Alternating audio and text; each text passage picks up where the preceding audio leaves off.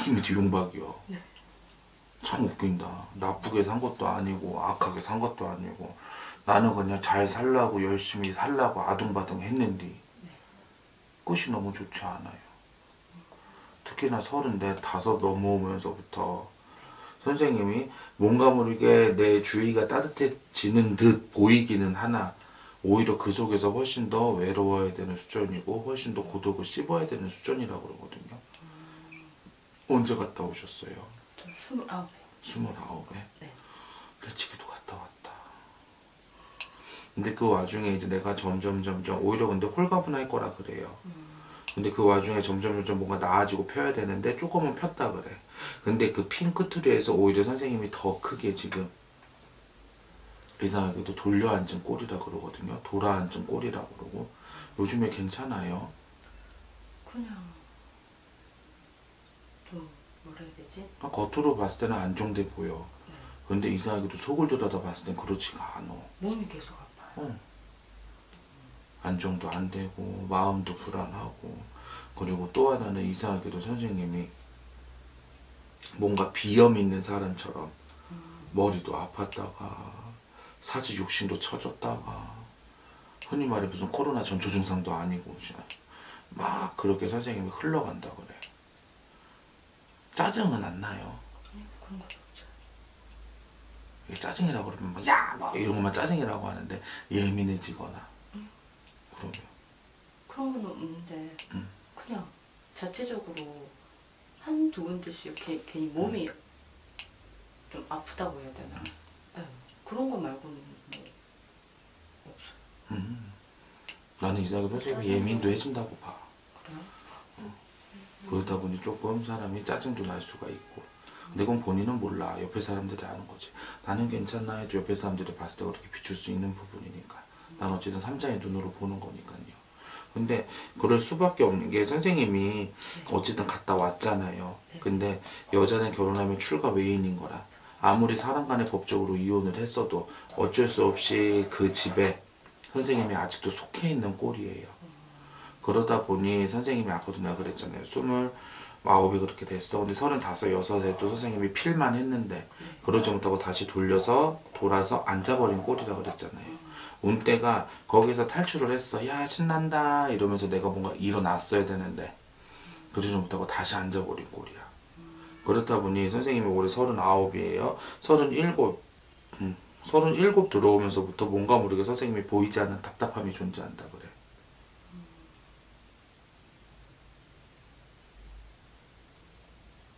이해돼요? 그 답답함이 뭘까요?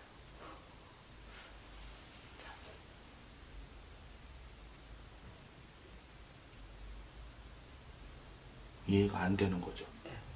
보이지 않는 답답함이 뭐냐?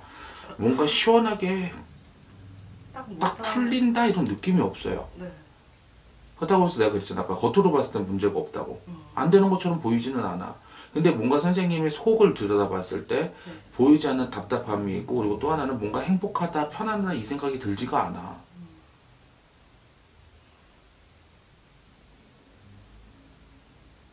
이거 아니라고 하면 나는 할 말 없어. 나 오늘 못 보는 무당이 되겠지. 그렇다고 해서 선생님이 그 감정까지 내가 세뇌시킬 수는 없잖아. 저 왜 왔어요 오늘? 물어보려고. 뭐? 아니 제가 일적으로 나중에 가게를 좀 한번 해보고 싶은데 가게를 언제쯤 하면 될까? 마음 둘이요. 마음들 네.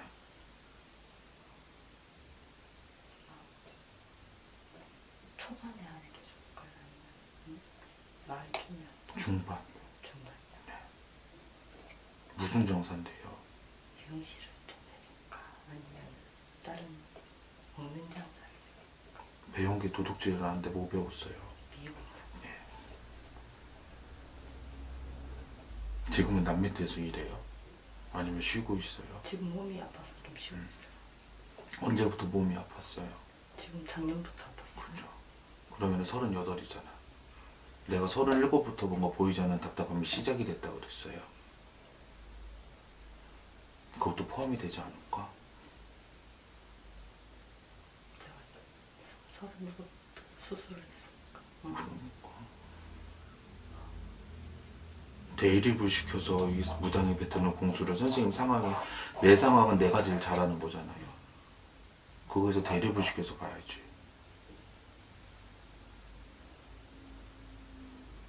한 서른일곱부터 운때가 선생님 안 좋다 이거예요.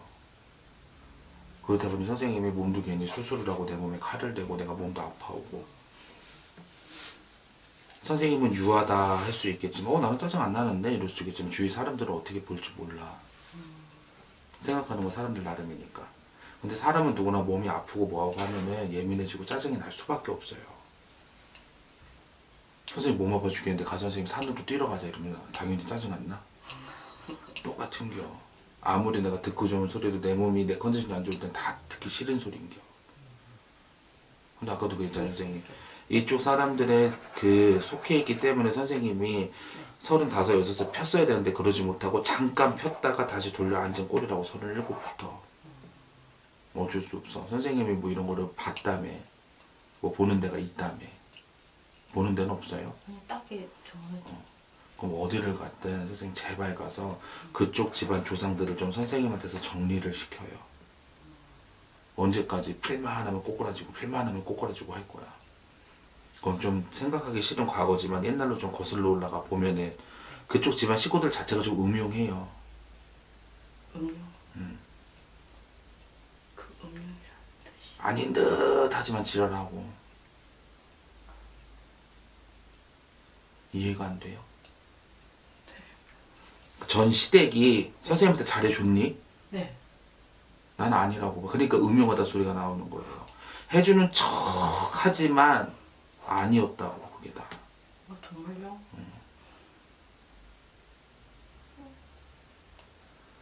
그 지방 조상들 자체가 그래. 맞춰주는 척 하지만 그게 음흉한 거잖아.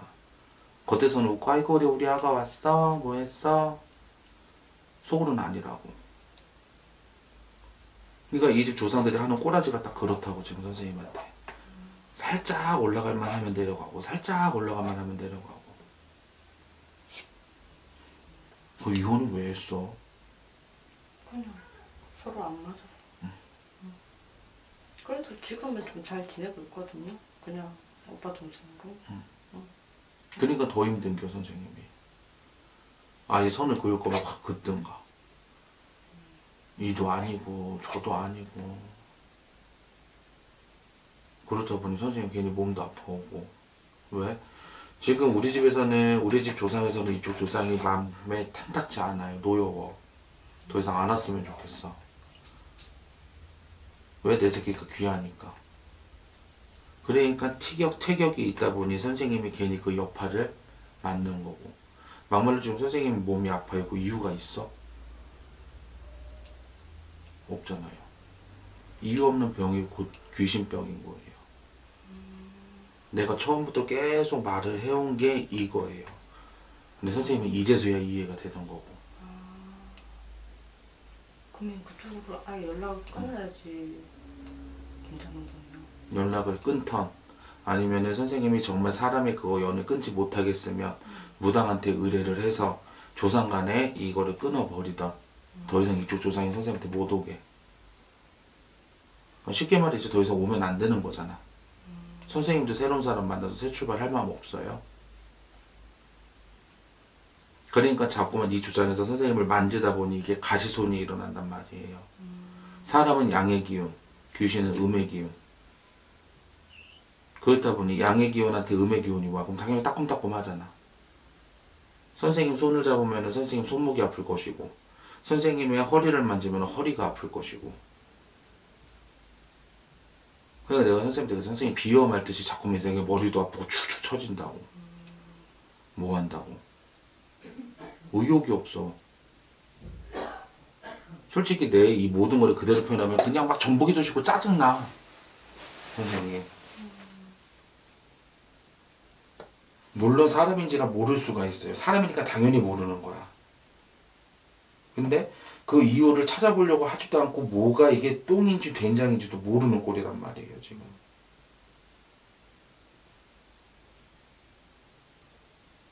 여지껏 점을 보고 뭐하고 했으면 무당들이 그런 말 안 했어 선생님한테? 딱히 꼭 집어서 얘기는 안 해줬어요. 그왜 아프대? 그냥 약간 좀 신병이 있다. 출안에 그 신병이 씨발 있으면 그게 뭐가 왜 어디에서 발동이 돼가지고 어디에서 뭐가 문제가 되는지 그걸 말을 해줘야지 알 거 아니야 손님이 그래서 저보고 풀어주면서 좀 살면 된다고. 그걸 풀었어? 아니 일을 하면서 이제 좀 풀어주면 된다고. 그래서 이제 기도도 좀 하, 하고. 출안에 씨발 일하면서 풀 거면 무당이 왜 나오니 나도 그럼 뭐 쇠다루는 일 하겠지 다른 거 했겠지 말을 말같이 해야지 뭐 이해가 되고 뭐가 되고 그러지 안 그래? 정말 어디서 봤니 요즘 아 이거 미쳐버리겠네 나 진짜 어느 어디 이상한 얇은 데만 다녔나 봐 막말로 생각을 해봐 선생님 그 위대한 신이 왔어 어, 하는 일 열심히 하고 하면 풀려요 그럼 무당이 왜 돼? 나는 그럼 무당을 왜 해? 나는 뭐 일이 없었니? 직업이 없었니? 아니 그래도 풀어주면서 살면 된다고 해- 하셔가지고. 음. 풀게 뭘 풀어야 되는지 그거를 말을 해줘야죠. 뭐 맥없이 풀어? 가서 그럼 뭐 어, 무슨 실고인 거 풀면은 살아? 어떠한 조상이 문제가 돼서 어떠한 신이 문제가 돼서 너가 이러니 이렇게 이렇게 이렇게 풀어가서 이게 대답이지. 음. 막염없이 풀어라. 막염없이 뭐뭘 풀어? 지금 무당들이 아주 지금 이상해 요즘 무당들. 그래 내가 선생님한테도 아까 어 뭐지 자매끼리 볼게요. 근데 자꾸만 내가 아닌데 아닌데 둘이 같이 못 봐요. 둘 다 서로 고깔이 다르니까. 둘 다 시집 안 가고 흔히 말해서 둘 다 그냥 한 부모 밑에 있으면 같이 볼 수는 있어요. 네. 근데 이런 경우는 조상이 지금 몇 부리가 들어온 거야. 선생님만 해도 두 부리야. 저 집도 또 두 부리야. 또 내 엄마 아빠 또 있지. 그러니까 5부리, 6부리가 섞이는데 어떻게 점을 봐, 무당이. 그러니까 그런 거를 조상을 읽고 뭐가 문제가 되는 걸 아니까 내가 무당을 하는 거지. 아니었으면 애초부터 내가 왜 그렇게 말을 해요. 가뜩이나 어 선생님 인생 뒤움박이야. 정말 그래 지금. 그러니까 내가 처음부터 그랬잖아 선생님. 겉으로 봤을 때 아무 문제가 없다고. 아무 문제가 없어 겉으로 봤을 때. 이 보이지 않는 답답함, 신병? 아니 신병은 아니야 선생님이. 무당할 만큼은 아니야. 근데 다만 자꾸만 이쪽 전 시댁 뿌리 조상의 선생님을 건드는지나 이게 가시손을 입는 거예요 선생님. 그러니까 아픈 겨. 그 전 시댁을 풀어야 돼요. 전 시댁에서도 시아버지 윗대라 그래. 시아버지 살아있어요. 아니요 돌아가셨어요. 그러니까 시아버지랑 시아버지 윗대라 그래. 자꾸만 거기서 건드려 선생님을. 근데 악하게 건드는 게 아니야. 내 며느리니까 아들이 하나야 거기. 아니요 아주버님까지. 아주머니까지 있어요. 네. 근데 왜 며느리를 선생님을 그렇게 끔찍해서 생각을 하니? 그 시아버지 아니 시 아주버니는 며느리가 없어? 부인이 없어? 아니 계세요. 미국 가 계시는. 그래서 그런가 보나요?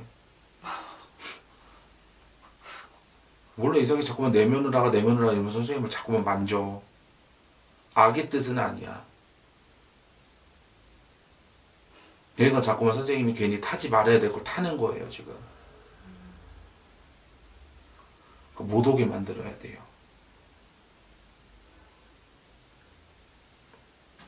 아니면 잘 풀어드려서 극락세로 잘 올라서 인도환생 하시라고 만들어드리든.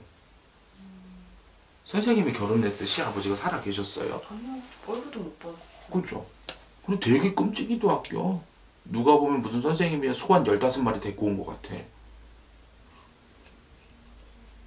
살아생긴 그러니까 웃긴 겨.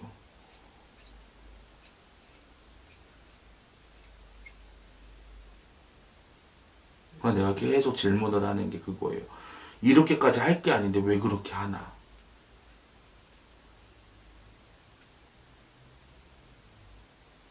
배가 고픈가 보면 또 배는 안 고파. 조상이. 단순히 그거예요. 내 아들내미 며느리였으니까 자기가 어디 어루만질 게 없으니까 선생님한테 오는 꼴이야 지금. 악의는 없어.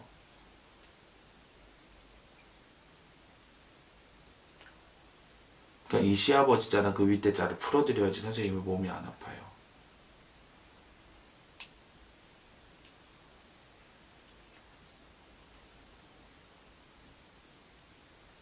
그러면 그 시아버님 그 밑에 그 조사님들 때문에 그럼 제가 계속 몸이 좀 안 좋은 거 네. 가시손을 입는다 그래요 우리 말로. 가시죠. 아플 게 아닌데 아프잖아.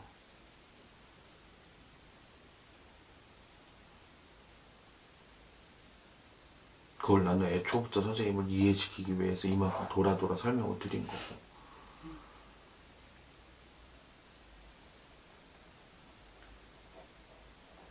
만약에 그쪽에 이제 전 남편 쪽으로 인연을 끊으면 저는 또 새로운 그 새로운 쪽으로 또 남자를 또 만날 수 있을까요? 네. 한 언제쯤? 선생님 마음가짐에 따라 달라요. 그래요? 선생님이 지금 만날 의향은 있어요.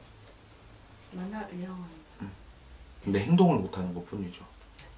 행동을 좀 해요. 자신이 없어서 왜?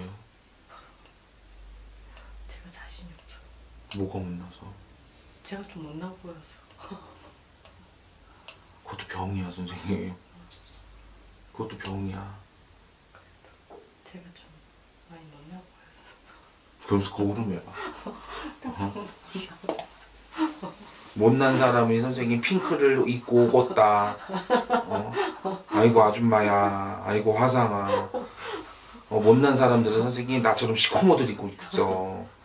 음, 화사한 거 못 입어. 내 얼굴이 어떻게 화사한 걸 입어. 아이고 화상아.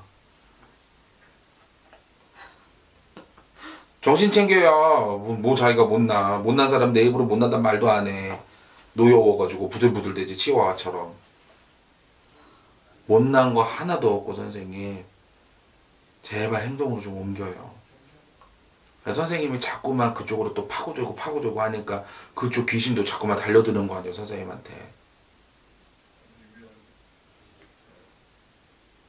자신이 없어서 그래도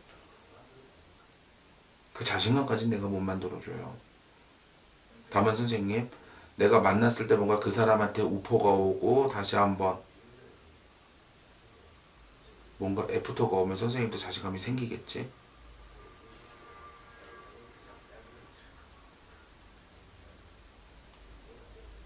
그렇게 하기 위해서 내가 행동을 해봐야겠죠.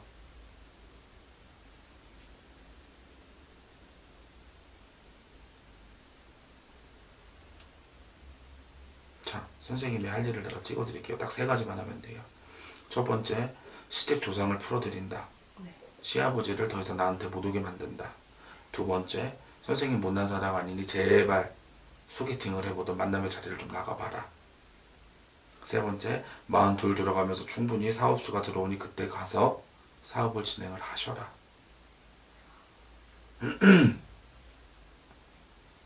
식당은 무슨 식당이야? 음식 잘, 난 미안해요. 난 손맛은 없다고 봐.